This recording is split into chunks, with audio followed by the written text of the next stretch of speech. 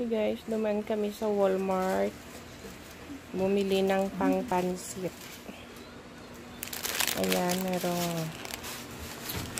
ah, French beans, carrots, and then celery, cabbage, and then ito yung egg. Oh, ang lalaki. Yan, 18 pieces. And then, pang spaghetti ko ito. It's cheese. Yeah, cheddar cheese. Ayan. Mura lang siya. $2 per pack. And then, I did that. kumuha ako ng yogurt na strawberry. Nakasale lang siya ng 30 cents each. And peach. So, ayan. Ito din. Peach. 30 cents din yung isa. Ayan. Pang kurikor. And then, toothpaste. Ito yung favorite namin. Oh. Yan. Buttermilk. Arrowroot. And then, kumuha ako ng blueberry na ocean spray. Is, ito is 198 It lang ito. And then, yay. Ayan o, nagnakaw akong kumuha. Cadbury Dairy Milk. Hi! Nainggit ako kay Pin Family Vlogs sa Dairy Milk niya kagabi. Shout out, shout out to you and Family Vlogs. Dahil dito sa Cadbury, nainggit ako sa iyo. Kaya ayan, kumuha ako. Ayan, pang-allergy na gamot to. Ito, nabili ko to sa 7-Eleven nung naggasolina kanina. Cream cheesecake. Super sarap ito. 169 per piece lang. Kaso lang, nag-iisa na lang to. Pag maraming stocks, kumukuha ako nito ng anim. Ganyan. Kasi super sarap talaga siya. Ayan, oh. Super moist. At saka basta, ang sarap-sarap talaga. Super. Ayan, kumuha din ako ng saging. Tapos, ayan, little bites. And then, ito yung breakfast crackers. Kumuha ako ng milk, tsaka breakfast wrap. Nandun na sa ref. Ayun. Tsaka yan, may water, and then, jasmine rice. Ayan. Tsaka ito, kumuha din ako. Masarap to sa gulay.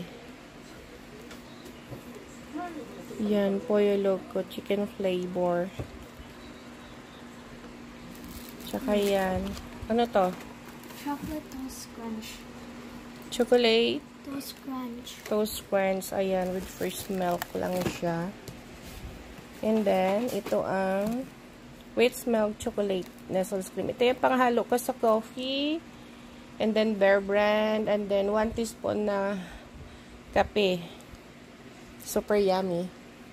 Chocolate. Yan. Yan, kumuha din ako ng Milo. Para sa prince and princess ko yan. And then, ayan, coffee mate. Yan, ito gusto ko nung nasa Pilipinas ako, kape lang at coffee mate. Mas masarap And then, sugar, yan na. Super sarap na siya. Mas masarap yan yung Thai tea. Ayan. And then, ito, kumuha din ako ng Thai tea. Okay. Tapos itong Niyogori Korean spicy seafood. Ayan, nakuha ko rin to sa Walmart, sa Asian aisle. And then, itong Barella City. Itong gagawin kong spaghetti, gusto daw matikman ng aking princess. Kung ano daw yung lasa, sabi ko pariha lang din naman kasi pariho lang naman na pasta. And then, Quaker Oats. I mean, Quaker Oats, Quaker Oats, Quaker Oats, whatever. Ayan, apat siya na. I mean, ilang ano to? Apple cinnamon, maple brown sugar, cinnamon spice. Okay.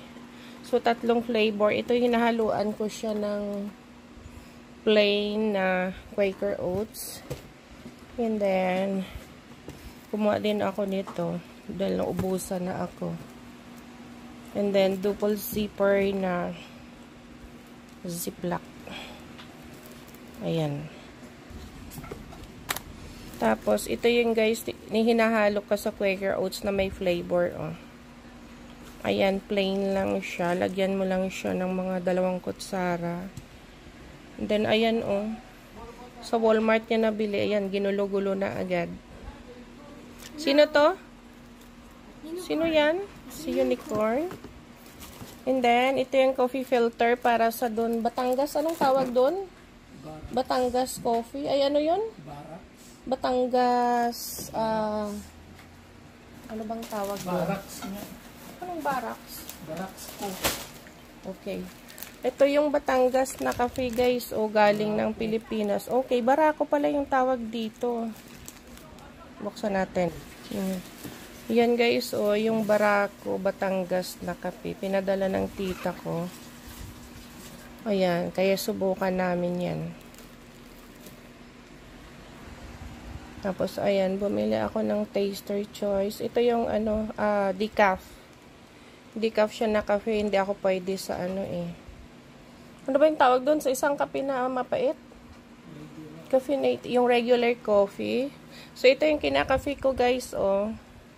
Decaf siya, hindi siya ma, ano, hindi siya Tapos, matapang. yung barako, susubukan. Tapos yung barako, Susubukan. subukan ko lang kung anong lasa, hindi pa ako nakatry niyan.